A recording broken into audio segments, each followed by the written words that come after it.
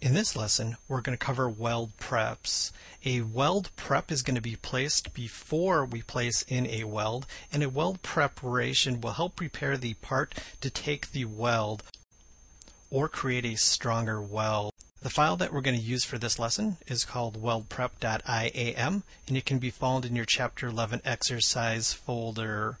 These weld preps that we are going to place here will not affect the parent file the weld prep will only exist in the weldment assembly that they have been placed. To create a weld prep, simply double click on preparations in the browser. The panel will change to the weldment features panel and here you're going to see a lot of tools that you're very familiar with. The most popular tool that is used for weld prep is a chamfer. So that's what we're going to place in here. In this case, what I want to do is I want to chamfer the two edges of this green plate.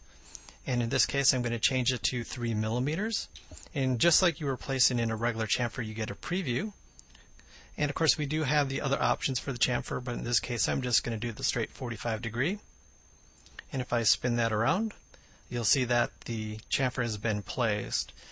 Now, if I go ahead and open up that file, because like I said, that preparation is only existing at that assembly, it doesn't exist at the part level.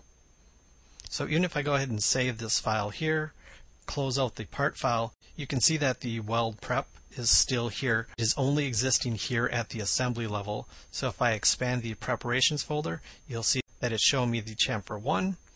And in this case, it's also stating exactly what part that chamfer has been placed on. I want to go back and place in one more chamfer. And what I want to do in this case is I want to go back and chamfer the bottom edge of the tube so it'll accept a fillet weld a little bit easier. And again, I'm just going to accept the 3 millimeter distance that we have for our chamfer. And if I spin that around, you'll see that it had no problem placing in that chamfer. In the next lesson, we will go ahead and place in fillet welds on this assembly.